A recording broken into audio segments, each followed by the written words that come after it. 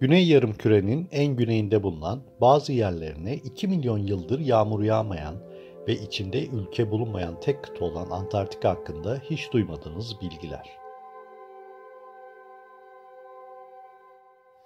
Antarktika dünyanın en büyük çölüdür ve dünya üzerinde sürüngen bulunmayan tek yerdir.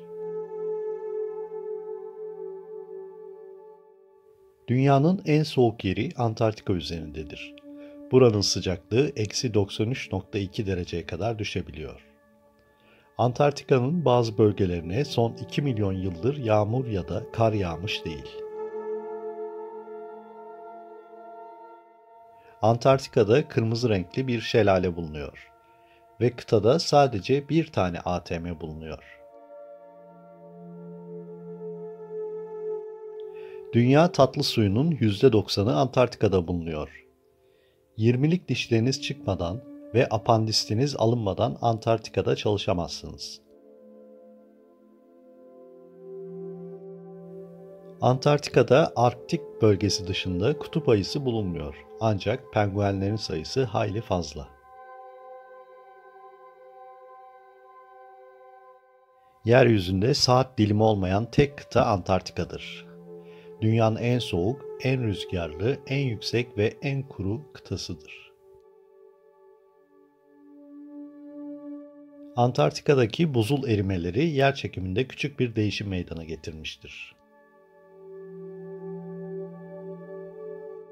Antarktika'da okulu, hastanesi, oteli, post ofisi, interneti, televizyonu ve cep telefonu kullanımı Şili isimli bir kasaba bulunuyor.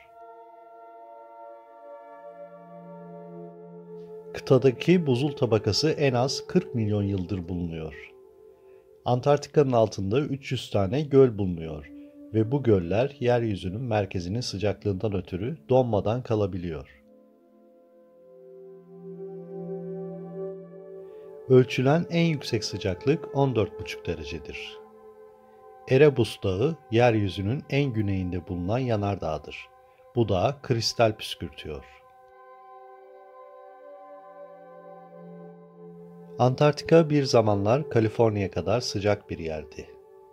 Kıtada en az 7 tane kilise bulunuyor.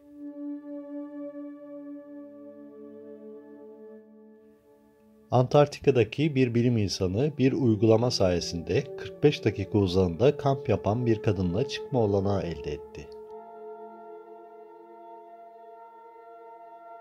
Kıtada her yer buzla kaplı.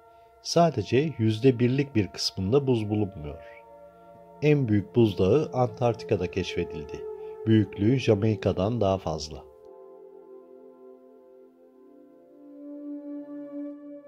Kıtadaki bir buzdağının ortalama kalınlığı yaklaşık olarak 1 mildir. 1977 yılında Arjantinli bir hamile kadın Antarktika'ya gönderildi.